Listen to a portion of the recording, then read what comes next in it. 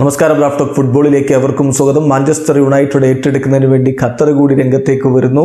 അതുമായി ബന്ധപ്പെട്ട വാർത്ത ഇന്നലെ പുറത്തു വന്നു. അതുമായി ബന്ധപ്പെട്ട സ്റ്റേറ്റ്മെന്റ് പുറത്തുവിടുകയുണ്ടായി. ഇന്നലെയായിരുന്നു ഡെഡ് ലൈൻ ഡേ. ആ ഒരു സമയത്ത് Qatari ബാങ്കറായിട്ടുള്ള Sheikh Jassim bin Hamad Al Thani Manchester യുണൈറ്റഡിനായിട്ട് രംഗത്തേക്ക് വന്നിരിക്കുകയാണ്. ബിഡ് സമർപ്പിച്ചിരിക്കുകയാണ്. ഹൺഡ്രഡ് പെർസെന്റ് സ്റ്റേക്ക് ഏറ്റെടുക്കാൻ വേണ്ടിയിട്ടുള്ള നീക്കമാണ് അവർ നടത്തുന്നത്. ഓൾറെഡി സർ ജിം റാഡ് ക്ലിഫിന്റെ ഐ എൻ ഇ ഒ എസും മാഞ്ചസ്റ്റർ യുണൈറ്റഡിനായിട്ട് രംഗത്തുണ്ട്. ആർക്കായിരിക്കും ഈ ഒരു ഉടമസ്ഥാവകാശം ലഭിക്കുക എന്നുള്ള കാര്യം ഇനിയും കണ്ടറിയേണ്ടതുണ്ട്.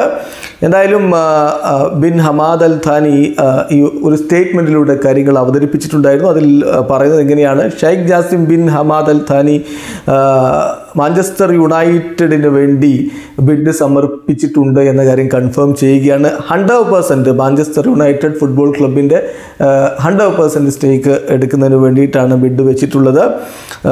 ക്ലബിനെ പഴയ ആ ഒരു ഗ്ലോറിയിലേക്ക് ഓൺ ആൻഡ് ഓഫ് ദി പിച്ചിൽ തിരികെ എത്തിക്കുക എന്നുള്ളതാണ് ലക്ഷ്യം എന്നുകൂടി ഇപ്പോൾ കൃത്യമായിട്ട് ആ ഒരു സ്റ്റേറ്റ്മെന്റിൽ പറയുന്നുണ്ട്. അതോടൊപ്പം തന്നെ ഈ ബിഡ് എന്ന് പറയുന്നത് കംപ്ലീറ്റ്ലി ഡെറ്റ് ഫ്രീ ആയിരിക്കും. ഷെയ്ഖ് ജാസിമിന്റെ നയൻ ടു ഫൗണ്ടേഷൻ വഴിയായിരിക്കും കാര്യങ്ങൾ നീക്കുക. എന്തായാലും ഈ ഒരു രൂപത്തിൽ ഖത്തർ മാഞ്ചസ്റ്റർ യുണൈറ്റഡിനെ ഏറ്റെടുക്കാനുള്ള ശ്രമങ്ങളുമായിട്ട് മുന്നോട്ട് വരുമ്പോൾ ഓൾറെഡി പി എസ് സി ഖത്തറിന്റെ നിയന്ത്രണത്തിലാണുള്ളത് എന്ന് നമുക്കറിയാം. അങ്ങനെ പ്രീമിയർ ലീഗിലേക്ക് കൂടി അവർ നീക്കങ്ങൾ നടത്തുകയാണ്. ഇനി ആർക്കായിരിക്കും മാഞ്ചസ്റ്റർ യുണൈറ്റഡിന്റെ ഉടമസ്ഥാവകാശം ലഭിക്കുക എന്നുള്ളത് അറിയാൻ വേണ്ടി ഇനിയും കാത്തിരിക്കേണ്ടതുണ്ട്.